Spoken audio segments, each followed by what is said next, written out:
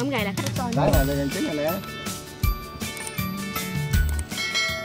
Hồi trước tôi sợ nó khó họ mà trồng nó khó thành ra tôi trồng thử chứ, bây giờ tôi hết sợ rồi. Nó đất này nó cũng chịu, đất cát ở đất ờ, phèn này nó cũng chịu nè.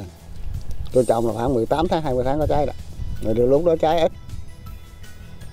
Loại cây này càng càng càng lớn nó mới càng trái nhiều. Từ ngày làm bông cho tới chín là khoảng 5 tháng. 5 tháng là bán. Ngày tôi cắt hai thùng B ra là tôi à bán hai triệu hai rồi triệu hai triệu mốt. Vậy là vụ này chắc cũng tầm 700 kg ha.